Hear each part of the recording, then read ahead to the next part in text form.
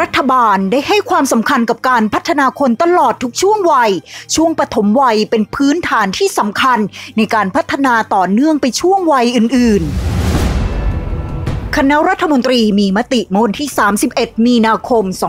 2558 เห็นชอบให้ดำเนินงานโครงการเงินอุดหนุนเพื่อการเลี้ยงดูเด็กแรกเกิด ที่อยู่ในครัวเรือนยากจน หรือครัวเรือนที่เสี่ยงต่อความยากจน โดยให้เงินอุดหนุนรายละ 400 บาทต่อเดือนเป็นระยะเวลา 1 ปี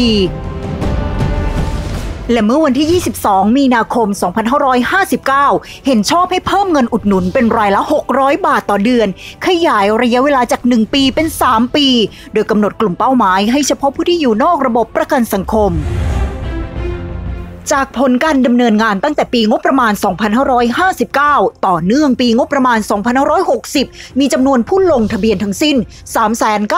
394,773 คน จากเป้าหมาย 200,000 คน โดยจ่ายเงินอุดหนุนให้แก่ผู้ที่ได้รับสิทธิ์ไปแล้ว 310,041 คน เป็นเงินกว่า 2,190 ล้านบาท ผลการประชุมคณะกรรมการส่งเสริมการพัฒนาเด็กและเยาวชนแห่งชาติเมื่อวันที่ 26 พฤษภาคม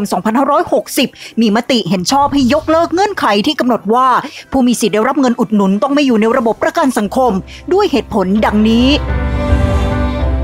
1. ผู้ประกันตนตามพระราชบัญญัติประกันสังคม พศ 2533 ฉบับใหม่แก้ไข 2558 มาตรา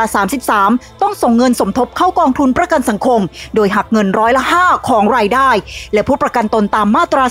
39 กรณีถูกเลิกจ้างลาออก จะต้องสมทบเงินด้วยตัวเองอย่างต่อเนื่อง ดังนั้นการจ่ายเงินสมทบของผู้ประกันตนเข้ากองทุนประกันสังคม จึงไม่ใช่เงินช่วยเหลือจากภาครัฐ แต่เป็นเงินสะสมเพื่อก่อให้เกิดสิทธิตามกฎหมาย 2. เมื่อคำนวณรายได้ผ่านตามเกณฑ์ความยากจน ของโครงการเงินอุดหนุนเพื่อการเลี้ยงดูเด็กแรกเกิด คือมีรายได้ครัวเรือนหารจำนวนสมาชิก เฉลี่ยรายได้ต่ำกว่า 3,000 บาทต่อคนต่อเดือน แสดงให้เห็นว่ากลุ่มผู้ประกันตนต้องทำงาน และรับภาระทางครอบครัวอย่างมาก การตัดสิทธิ์เงินอุดหนุนเพื่อการเลี้ยงดูเด็กแรกเกิด จึงเป็นการลดช่องทางการได้รับความช่วยเหลือจากรัฐบาลของกลุ่มคนยากจน 3. จากข้อมูลการสำรวจสภาวะเศรษฐกิจและสังคมของครัวเรือน ปี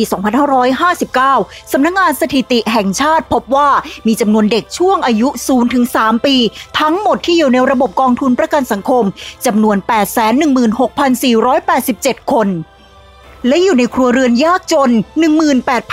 18,951 คน คิดเป็นร้อยละ 2.32 หากต้องการให้ความคุ้มครองแก่เด็กกลุ่มนี้ด้วยนั้น คาดว่าจะต้องใช้เงินประมาณ 136 ล้านบาทต่อปี ข้อเสนอเพื่อพิจารณากระทรวงการพัฒนาสังคมและความมั่นคงของมนุษย์ จึงขอความเห็นชอบ ยกเลิกเงื่อนไขที่กำหนดว่า ผู้มีสิทธิ์ได้รับเงินอุดหนุนเพื่อการเลี้ยงดูเด็กแรกเกิด ต้องไม่เป็นผู้ที่อยู่ในระบบประกันสังคม เดี๋ยวเริ่มดำเนินการตั้งแต่ปีงบประมาณ 2561 เป็นต้นไป